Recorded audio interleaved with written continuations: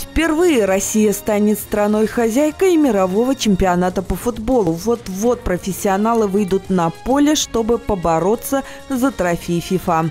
Тем временем в городском округе Мытища, похоже, им растет достойная смена. Год от года соревнования по мини-футболу, задуманные Андреем Налогиным десятилетия назад как любительские, становятся все более захватывающими. Юбилейный 25-й турнир Кубок дружбы не стал исключением. До последнего игроки держали болельщиков в напряжении. Практически каждый матч был непредсказуемым. Очень профессионально. И вот э, командам неподготовленным, которые приходят, вот первый раз пришла команда Исмайла, и они были просто шокированы уровнем игры, потому что это уровень игры, который соответствует, ну, в общем-то, вот мастерам. И я думаю, что, скорее всего, на следующий Кубок Дружбы надо что-то делать. Наверное, все же фильтровать. Турнире Кубок Дружбы принимают участие как дети, так и взрослые. В этом году соревновались 16 команд.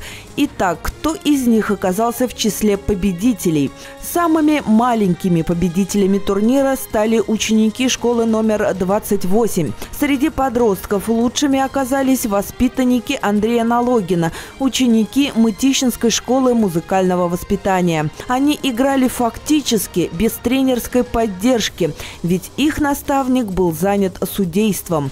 Но с трудностями ребята справились, причем на отлично. Взрослые игроки также отчаянно боролись за первый приз. В этом году его забрала команда Кваква Парк. А теперь, внимание, главная интрига.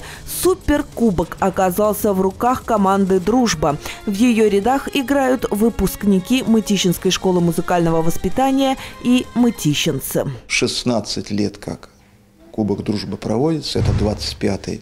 Я посмотрел на детей, которым 8 лет, и посмотрел на детей я их тоже детьми считаю, которым 25 и 30 лет, которые начинали в 15 лет играть на Кубок Дружбы, я понял, что это остановить нельзя. Победителей поздравляли на вечеринке, которую по традиции устроили на площадке одного из мытищинских торговых центров. С помощью спонсоров организаторы турнира «Кубок дружбы» также смогли подготовить достойные награды для виновников торжества. Грамоты, медали, эксклюзивные кубки, сувенирные кружки и другие подарки. Надежда Трифонова, Олег Степанов. Информационная программа «День».